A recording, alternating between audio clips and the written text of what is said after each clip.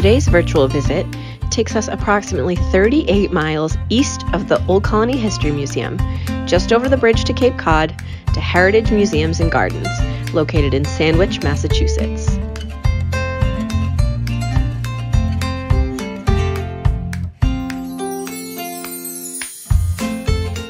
My name is Jennifer Madden. I'm the Director of Collections and Exhibitions here at Heritage Museums and Gardens.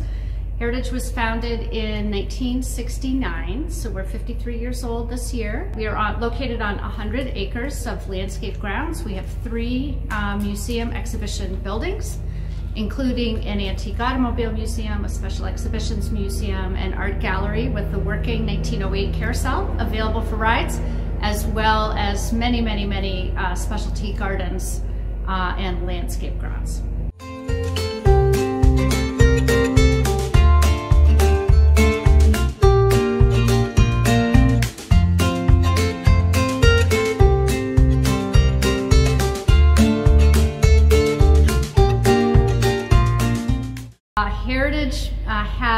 18,000 items in our object collections. So that ranges from 42 antique automobiles, we have paintings, sculptures, a collection of American antique firearms, 5,500 American military miniatures, uh, bird carvings, weather vanes, uh, American folk art, a very wide range of items. We are still actively adding to that collection, particularly items that relate to the life, industry, history, culture of southeastern New England.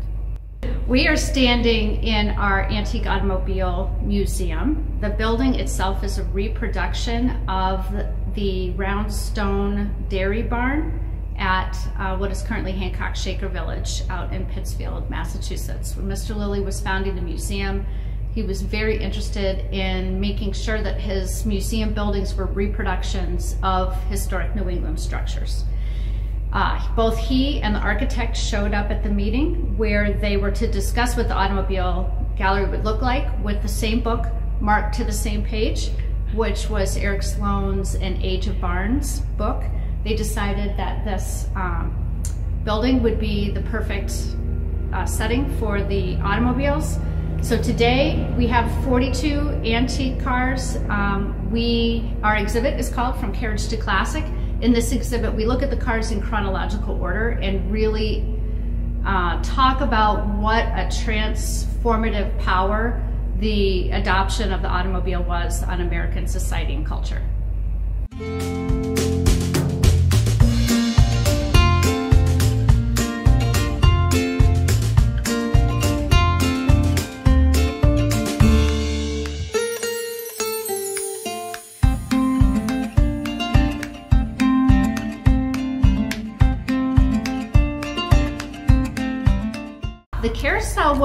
Acquired by our founder. The museum was founded uh, by Mr. and Mrs. Josiah K. Lilly III.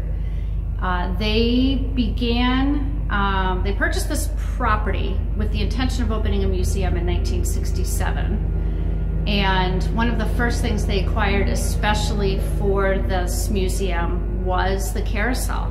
It was actually here on the Cape. It belonged to a man in Provincetown uh, he wanted to set it up there in his backyard, but the Provincetown uh, Board of Selectmen told him that no, it was too honky-tonk and they did not want it in Provincetown. Uh, so a local auctioneer sort of brokered the sale of the carousel to Mr. Lilly.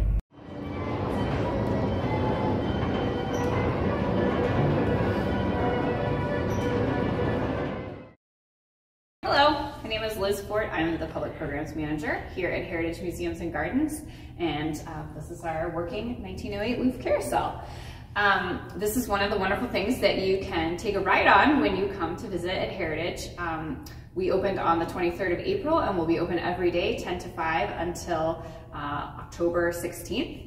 Then we close for the regular season. We um, decorate very quickly for Halloween. We reopen for um, a Halloween festival on the 22nd and 23rd of October in the evening. And then we close again, and then we spend the next four weeks decorating again for the holidays. We string up um, hundreds and thousands of lights all over the gardens and decorate the galleries as well with um, close to 50 plus Christmas trees and decorations, and then we reopen for Gardens Aglow, our um, holiday tradition. So the gardens are lit, the galleries are decorated, the carousel's running, you can roast marshmallows, visit with Santa. Uh, it's really fun, and that runs um, Thursdays through Sundays in the evening, um, as well as the days leading up right before Christmas. Some other programs that are happening during the regular season. So we always have our signature horticulture festivals. Our first one is coming up in May. That's the Rhododendron Festival where we have thousands of rhododendrons in bloom. You literally get to walk through like mountains of flowers all around you. Um, it's really, really impressive here. Um, Heritage is known for its collection of rhododendrons and um, before the museum was here, uh, Charles Owen Dexter, who was a famous um, horticulturalist, was here doing a lot of hybridizing of rhododendrons, and thus we have the great collection here. Then our next major horticultural festival is the Hydrangea Festival. So Cape Cod, the whole um, peninsula is known for the Hydrangea Festival, and we participate in that as well. That runs in the beginning of July, starting July 8th um, for 10 days and all of our signature hydrangeas are in bloom um, and we do some programming as well for those um, festivals. So if you come and visit, you can pick up a self-guide, there's a family activity guide, um, and it's just really a special week here on Cape Cod um, as well as um, at Heritage. Um, some of our other major events, June 11th is our annual auto show. So this year we're celebrating our 50th anniversary of the auto show. Um, so it's gonna be a really big deal. The auto show is usually our most well-attended day for the whole season. Um, about 150 cars will be here on display. Anything from early 1910s kind of vehicles all the way up until the flashiest um, 2021 cars might be here. Um, or your minivan could come into the show as well. Um, any kind of car is welcome at that show. It's a really fun family day. Um, we give out awards. It's just a big, big time. Uh, you can learn all about our programming these things I've talked about, as well as um, many, many more. We have about 100 plus days of programming this year.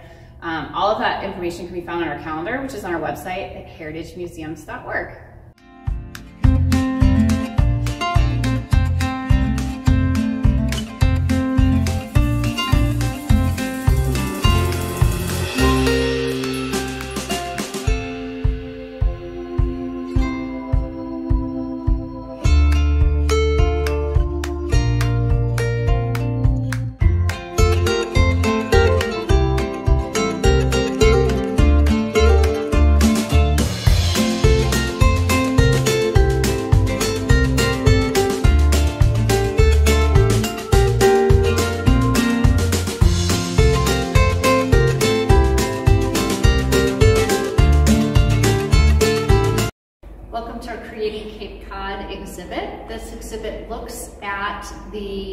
evolution of the Cape as a tourist destination beginning about 1850 and going up to today.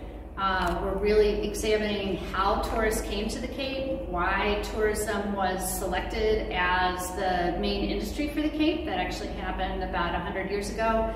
What tourists did when they got here, and then what are the challenges that are created for Cape Cod by uh, the tourism industry being our main economic driver. We have been talking about hosting this exhibition for 16 years. I was inspired by a book that was released in 2003 by James O'Connell called Becoming Cape Cod. And uh, after I read that book, I knew that Heritage would be a uh, great place to host that exhibit uh, because our collections have a lot to do with Cape Cod, obviously, and because the automobile was so transformative and so important to the Cape Cod vacation. Obviously, we have an auto museum, so we're able to work that part into the exhibit as well.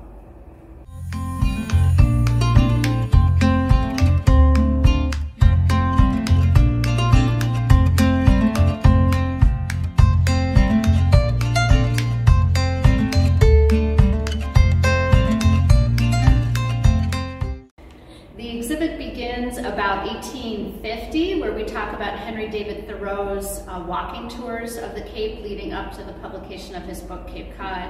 We also talk about very early tourism to the Cape in the form of early hunting and fishing trips to the Cape, mostly by urban wealthy men.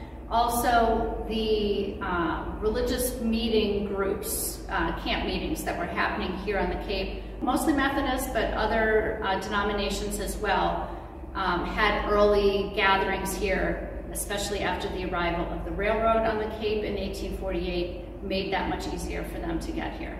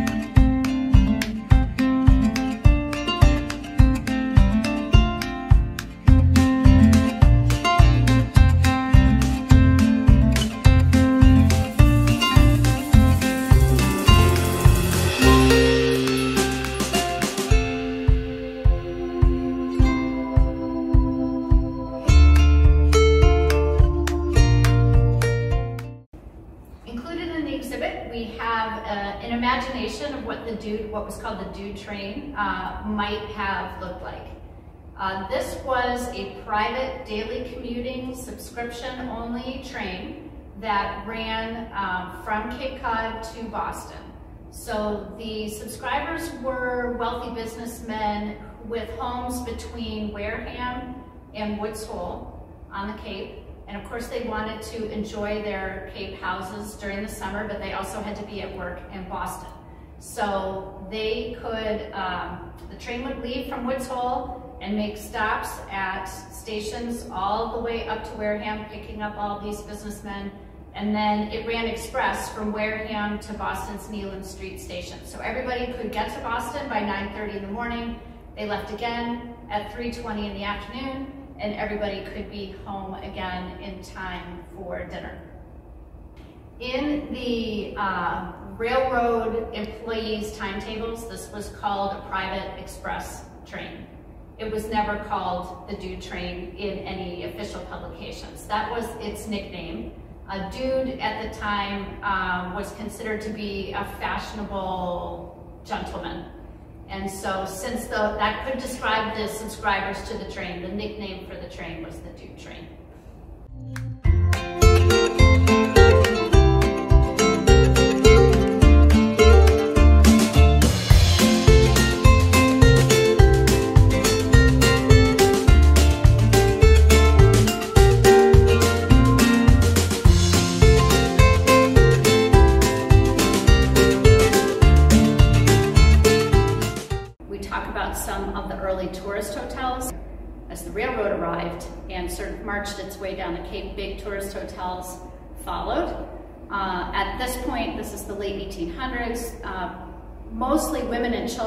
Coming and staying at those hotels for the duration of the summer with husbands and fathers going as they were able.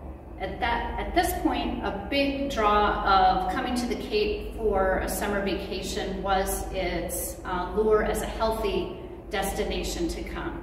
If you were living in cities at, in the late 1800s, um, they are often full of disease in the summertime. If you could afford to remove your family and your children from those conditions, you certainly did so. The Cape was a healthy place, seen as a healthy place to come.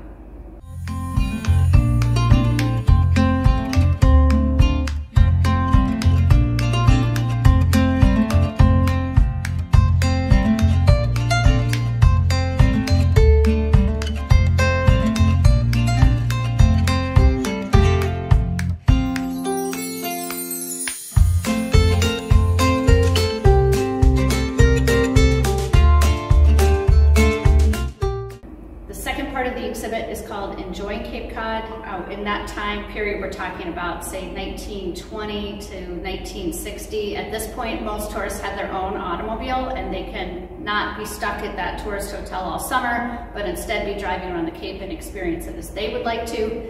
So we talk about the places that tourists were going and what they were doing. So we have a section on entertainment venues, so uh, playhouses and music performance uh, a section on Provincetown. Most people think a trip to the Cape might not be complete if you didn't go to Provincetown. Uh, section on summer camps as a way that many people, particularly children, are introduced to the Cape and then later end up buying summer houses here. Uh, section on roadside attractions. So when tourists were driving around, where were they stopping and what were they doing? So for example, um, amusement parks, museums, uh, shops like bird carver shops, carving, um, whirligigs, that sort of thing. We have a whole section on souvenirs. What were they buying and taking home with them while they were here? What kind of sports were they doing? What kind of lodging were they staying in? Where were they eating? Uh, we have an opportunity for people to play uh, mini golf in the gallery as well.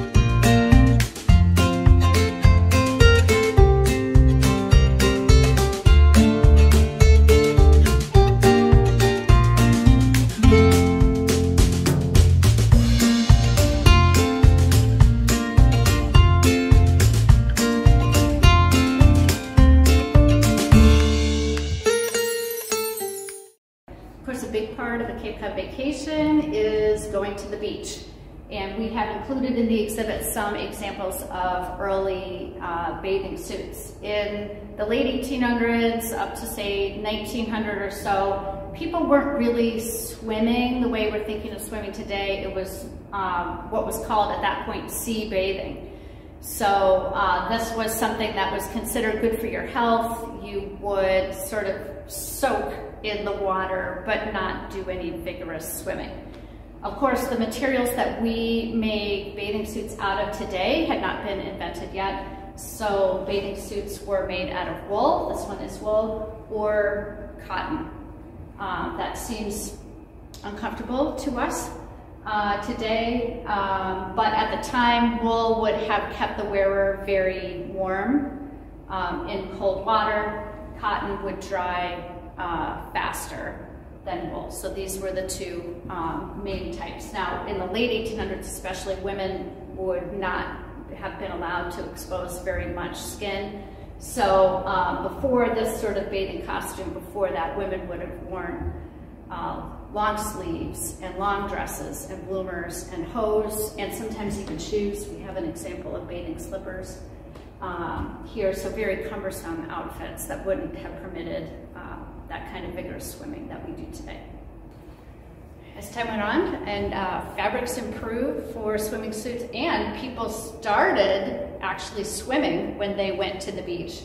Swimsuits changed, no longer really called bathing suits, but now swimming suits, and uh, were much more compatible for that type of activity. This swimming suit I really love, and as soon as I saw it, this is on loan to us from the University of Rhode Island Historic uh, Costume and Textile Collection. I knew I had to have it. Uh, the pattern here in the fabric is uh, stick figure angels and devils wearing barrels dancing with each other.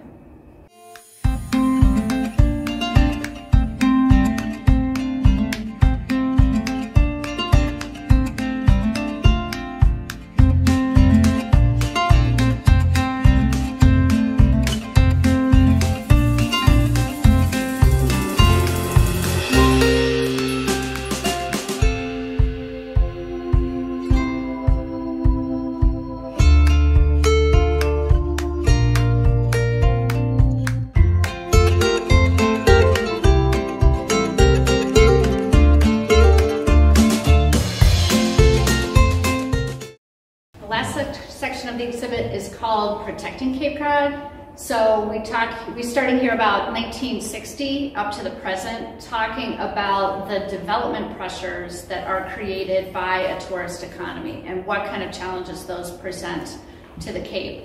So we actually start with a uh, booklet that was published in 1956 called Does Cape Cod Figure in Your Future? But one of the pages in that book says, Which way is the Cape going?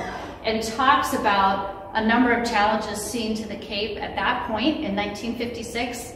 Okay, spoiler alert, almost 70 years later, we're still talking about a lot of these same issues.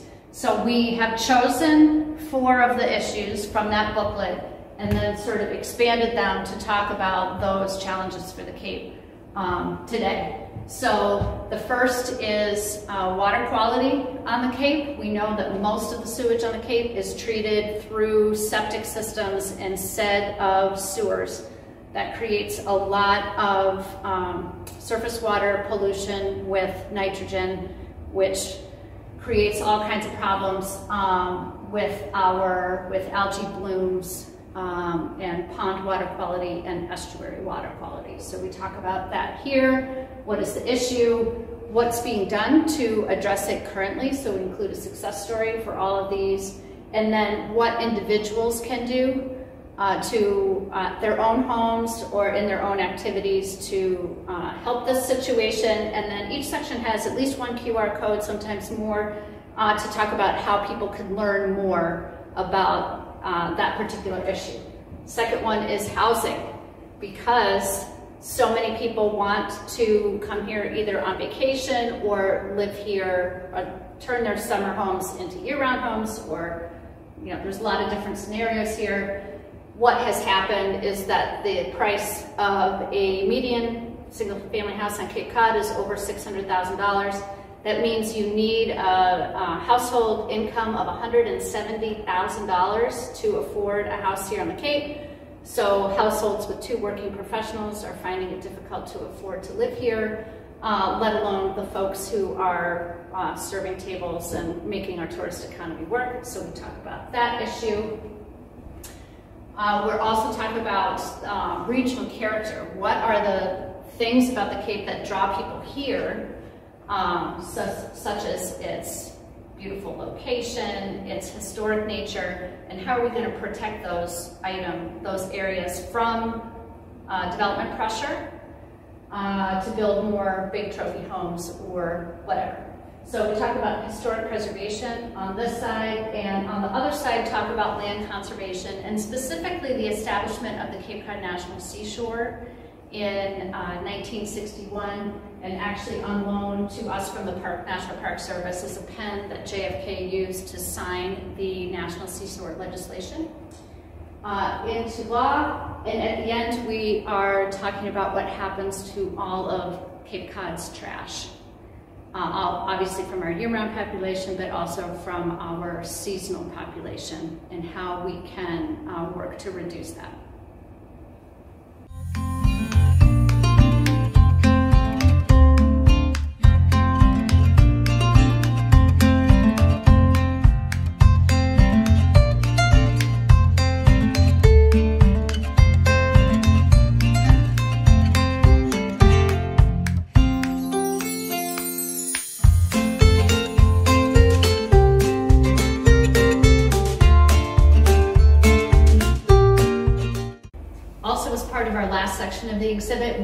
Talking about uh, how climate change is impacting uh, the Cape and the Cape's tourism infrastructure. So um, people can see an example actually of a painting from our collection that was commissioned um, from a man who noticed changes in development on the Cape and he wanted to document the Cape before that development um, was evident, but also before the changes that we know of now as um, climate change were evident on the Cape.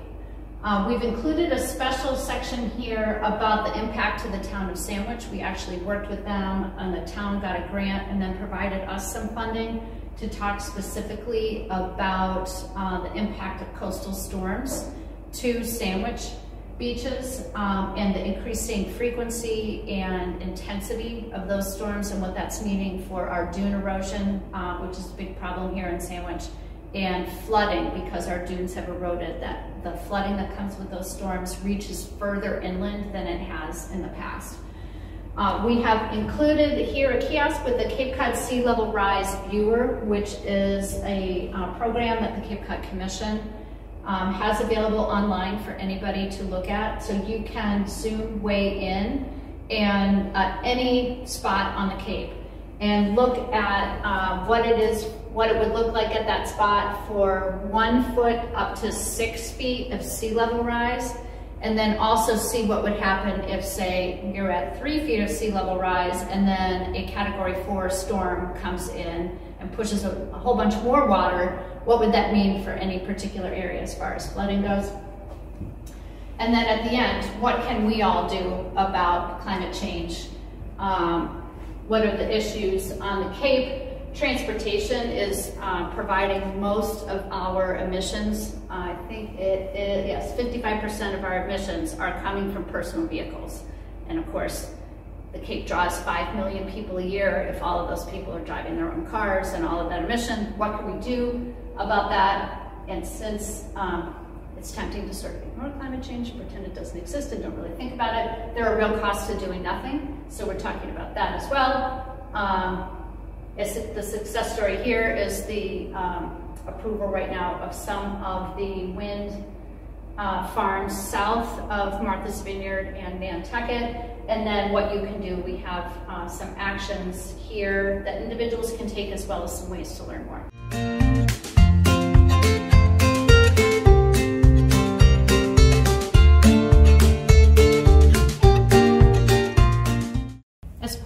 Creating Cape Cod exhibit, we have included some vehicles since the automobile was so transformative to the nature of a Cape Cod vacation. So we have included two vehicles from our own collection, a 1946 Mercury Woody wagon, which of course they were used uh, extensively on the beach for uh, fishing, surfing. You can put a whole bunch of people and fishing gear and all that stuff in there. Uh, we also have a 1965 Ford Country Squire station wagon with the faux wood sides. This is, you know, most people, not most people, many people have a memory of traveling uh, family vacations in a car such as this one. We have also borrowed from the Cape Cod Maritime Museum a 1932 Beetle catboat uh, which of course was made in New Bedford, and um, this one was used exclusively in Barnstable Harbor during its lifetime. We have also included a 1929 Packard uh, runabout pulling a 1930 Curtiss Aerocar camper. Both of these vehicles are what we call barn finds in that they have not been uh, extensively restored like some of the other vehicles in our collection. Uh, we know, of course, that there were many, many early campgrounds here on the Cape, and vehicles like this uh, would have been used to enjoy Cape Cod vacation as well.